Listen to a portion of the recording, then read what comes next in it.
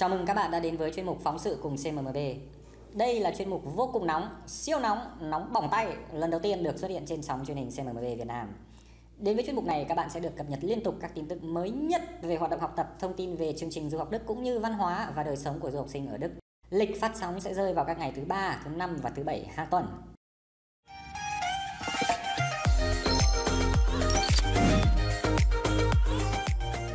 Và đến với cái số đầu tiên của chuyên mục ngày hôm nay thì chúng tôi sẽ đưa rất nhanh thông tin về tình hình học tập của các bạn học viên CMMB trong thời điểm dịch Covid-19 đang diễn biến vô cùng phức tạp. Theo thông tin từ Bộ Y tế, số lượng ca nhiễm Covid-19 tại Hà Nội đang gia tăng hàng ngày, eo ơi đáng sợ quá. Để thực hiện hiệu quả các biện pháp phòng chống dịch nhằm đảm bảo an toàn, chủ động kiểm soát dịch bệnh không lây lan trong trường học và các cơ sở giáo dục, Bộ Giáo dục và Đào tạo Hà Nội đã quyết định cho học sinh, sinh viên nghỉ học bắt đầu từ ngày 4 tháng 5 năm 2021 cho đến khi có thông báo mới nhất. Cùng chung tay đẩy lùi dịch bệnh, CMMB Việt Nam đã thực hiện nghiêm túc theo chỉ thị của Bộ Giáo dục và Đào tạo Hà Nội. Các hoạt động học tập tại trung tâm được tiến hành bằng hình thức online. Mặc dù học online gặp một số vấn đề bất cập, tuy nhiên thì cả thầy và trò đều đã nỗ lực không ngừng nghỉ với cái tinh thần quyết chiến, quyết thắng nhằm đạt kết quả cao nhất trong học tập. Ngay khi tình hình dịch bệnh được kiểm soát và có thông báo từ Bộ Giáo dục thì hoạt động học tập sẽ lại được diễn ra bình thường tại trung tâm.